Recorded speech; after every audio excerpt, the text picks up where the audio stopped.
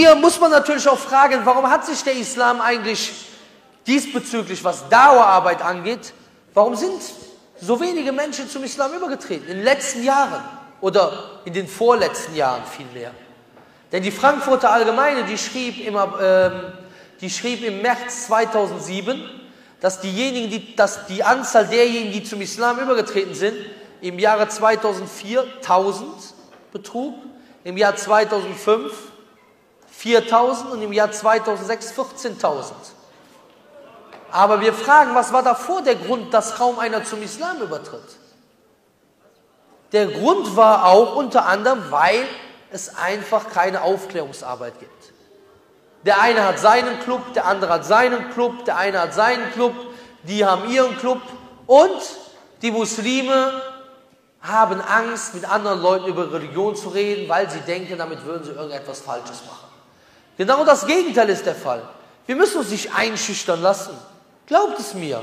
Ich habe so viele Aktionen jetzt in letzter Zeit erlebt, wo Leute eingeschüchtert werden, wo da irgendjemand auftaucht. Natürlich, wie gesagt, zu 99 Prozent in Deutschland, Alhamdulillah, geht es super ab. Ja, also äh, vor allen Dingen von Behörden wie Polizei und so weiter.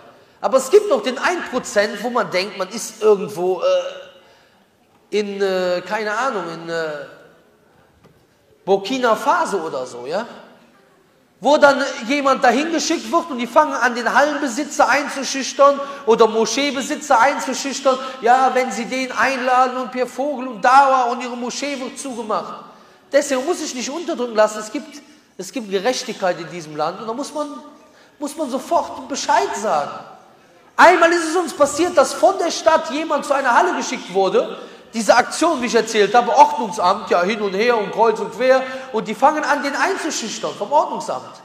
Da haben wir sofort dem Rechtsanwalt Bescheid gesagt. Der hat dann bei denen angerufen im Rathaus, ja, weil das von dort aus kam. Und dann war die Sekretärin direkt so dran. Äh, ja, äh, ich bin ja nur die Sekretärin. Ja, deswegen, man muss sich nicht kleinkriegen lassen. Wir rufen nicht zu irgendetwas Unvernünftigen auf. Wir rufen dazu auf, dass die Menschen sich hier vernünftig benehmen. Ein Muslim, der den Islam richtig verstanden hat, wird ein gutes Beispiel sein für diese Gesellschaft. Aber wir sehen tausende Muslime in Deutschland, die den Islam nicht richtig verstanden haben. Schaut euch die, Ju die Justizvollzugsanstalten an. Alhamdulillah, es gibt jetzt viele Leute, die da zurückkehren. Aber wieso sind die da gelandet? Sind die dort gelandet, weil die gute Muslime waren, weil die zu Hause islamisch aufgezogen wurden? Nein, die sind dort gelandet, in vielen Fällen, natürlich äh, äh, Aussetzer gibt es bei allen, auch bei der besten Erziehung gibt es Leute, die, äh, über, also die einfach Fehler machen, aber in vielen Fällen ist es so weit gekommen, weil sie ihre Erziehung nicht vom Islam oder keine islamische Erziehung genossen haben, sondern ihre Erziehung haben sie aus dem Fernsehen, aus irgendwelchen Actionfilmen. Sie sind Jugendliche, die hier aufgewachsen sind und ich kann ein Lied davon singen, weil ich bin in Marokkanern, Türken und anderen Nationalitäten aufgewachsen. Und äh, er fühlt sich hier als Außenseiter und identifiziert sich mit irgendwelchen Ghetto-Filmen aus Amerika, Boys in the Hood, Menace to Society, Blood in, Blood out und so weiter. Ja, und will dann den Bär machen.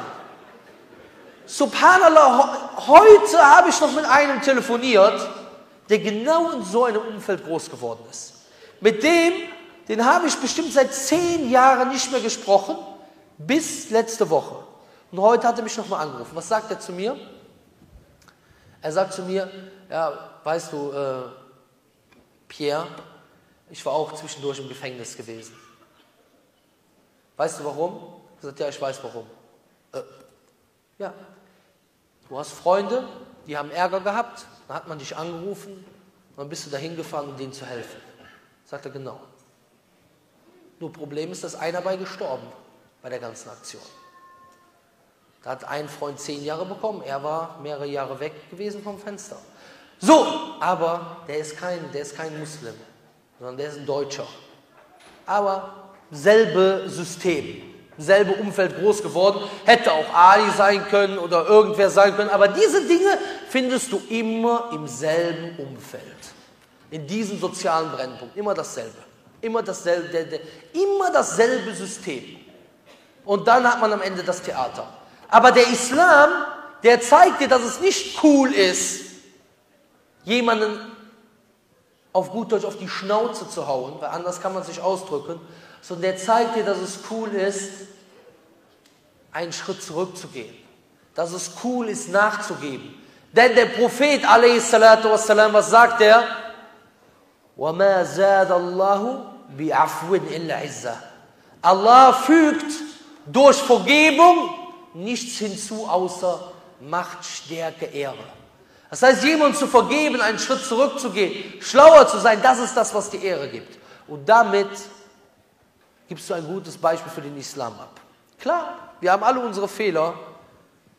Wir haben alle unsere Fehler. Wir haben auch schon von vielen Journalisten gehört, die von Prominenten Schläge bekommen haben. Und so habt ihr bestimmt schon oft gehört, ne? Ich muss auch immer eine Faust in der Tasche machen, wenn, wenn irgendwie sowas erzählt wird. Aber ich sage mir, hey, relax, cool bleiben.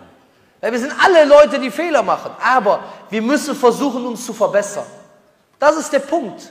Stell dir mal vor, stell dir mal vor, guck mal, warum haben so viele Leute ein schlechtes Bild vom Islam? Ja, hast du gedacht, wenn du in eine Schule gehst, in einem sozialen Brennpunkt, und du kriegst jeden Tag Schläge von Ali, von Mohammed, von dem, von Fuad und so weiter, meinst du, da kriegst du ein gutes Bild vom Islam? Hey, gib mal Handy her, Junge. Handy her. Ja, du, hast danach noch ein gutes Bild? Du fängst an, die Leute zu hassen. Weil du kannst nicht differenzieren, du findest diesen, du kannst keinen Unterschied machen zwischen Islam und Muslim. Deswegen eine wichtige Regel. Wir müssen zwei Dinge voneinander trennen, Islam und Muslim. Wir können das Auto auch nicht am Fahrer messen. Wenn ich einen Besoffenen einen schönen Wagen reinsetze, der fährt gegen den Baum, heißt auch nicht, dass der Wagen schlecht war. Oder? Nee, der Fahrer war schlecht. Ja? Oder wie man so schön sagt, wie man so schön sagt, das Fleisch war willig, doch der Koch war schwach. Ja? Beispielsweise. Fleisch war gut, aber der Koch hatte nichts drauf. So zum Beispiel. Deswegen, haben, normal sagt man immer, das Fleisch war willig, aber der Geist war, das, der Geist war willig, doch das Fleisch war schwach. Aber ich habe das ein bisschen umgeformt. Das Fleisch war willig, doch der Koch war schwach, aber Alhamdulillah.